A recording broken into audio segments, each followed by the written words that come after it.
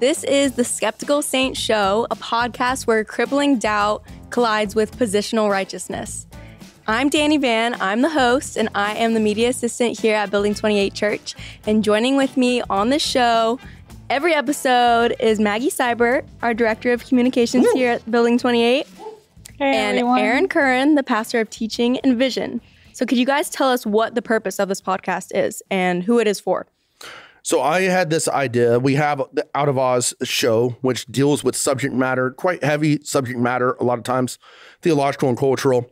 And for this, uh, we had launched a gathering uh, for young adults a few months ago, and we have a live Q and A. And a lot of questions came in that I think, if they were really boiled down, are the same as a lot of questions I get just as a pastor. A lot of questions for Out of Oz, a lot of questions I get after my sermons, a lot of questions through email, and quite honestly, a lot of questions from other pastors and questions that I myself am from haunted within, by. Yeah. Yeah, from within.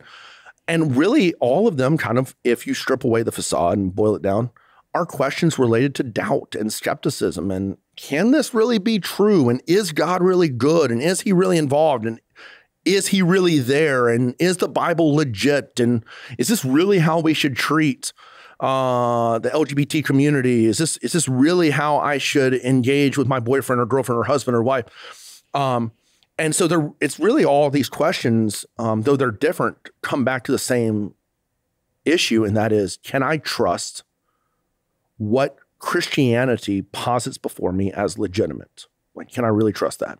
Yeah. And um, because I believe so many people are struggling with it, with these questions Mm-hmm. and with faith. Um, but I think we're reluctant to admit it because the culture, uh, the, sorry, the church has done a terrible job over the last several decades, and especially the Reformed Church, of allowing people to be haunted by and ask their questions. Yeah. It's like you got to suck it up, you got to get it together. Like you can't be this broken, this jacked up. Yeah. And because I am broken and doubting and struggling and even disbelieving at times, and I believe so many others are, I thought this podcast will be helpful um, for anyone, believer or unbeliever, tuning in to hear conversation. Me and Dani Van and Maggie, we have conversation all the time. And I thought, why not take a dare and answer some of these questions, or at least strive to answer some of these questions for the person who is justified in Jesus, or hopefully justified. Hopefully, you've trusted in Christ. Hopefully, He's your righteousness and your satisfaction. But yet, you still you feel that positional justification colliding with your own skepticism, your inner doubts, your struggles at times. Yeah. And so we're here for you, and we acknowledge we're right there with you.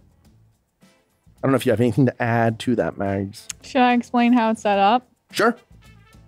So we have an episode and it will have a theme and then we'll answer a couple questions regarding that theme. Do our best.